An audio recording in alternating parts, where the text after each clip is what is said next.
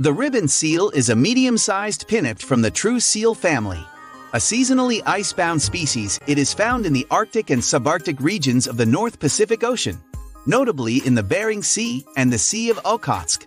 It is distinguished by its striking coloration, with two wide white strips and two white circles against dark brown or black fur. So in this video, we are going to discuss 5 facts about ribbon seal. But before starting the video, be sure to smash the like button and subscribe to never miss out on any of our videos.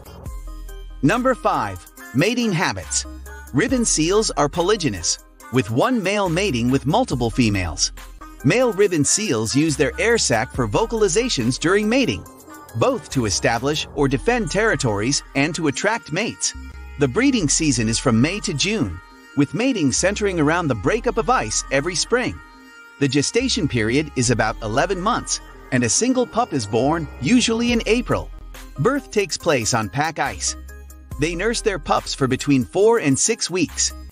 At weaning, mothers help their pups become independent by showing them how to dive for food. Females become reproductively mature at 2 to 5 years of age, while males start to breed when they are 3 to 6 years old. Number 4. Ribbon seals look like Males are usually larger than females. Ribbon seals have a cylindrical shaped body with 4 to 5 in wide 4 fur strips around their neck, back, and front half. These strips will not be distinct unless the seal has undergone molting. The color of the body of this species changes according to its age. Adult males are dark brown, after which they shed or molt and their fur coat turns black. The ribbon markings are visible in females. Ribbon seal pups have white fur when born and it turns dark blue-gray after 3 to 6 weeks. Number 3. Habitat Ribbon seals prefer to live their lives in deep, icy cold waters or seas in polar regions, and it is rare to see them on land. They live in deep seas where the ice is clean and thick and are found in smaller pieces rather than the large masses found on the surfaces. Ribbon seals are often found close to a food source and can dive up to 656 feet in search of food or marine animals. Number 2. Behavior Ribbon seals are rarely seen out on the ice and snow. Their method of movement on the ice is highly specialized.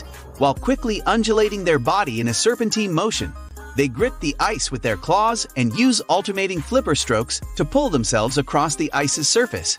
It has been observed that this form of locomotion is rendered ineffective on other surfaces, most likely due to the increased friction between the animal's fur and the substrate.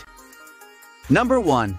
Diet and Nutrition Ribbon seals are known to eat a variety of fishes, cephalopods, and crustaceans. However, information about their feeding habits is limited and mostly restricted to the spring when they typically feed less. Thank you guys for watching. If you want more videos like this, make sure to like the video and hit subscribe button and we'll see you in the next video.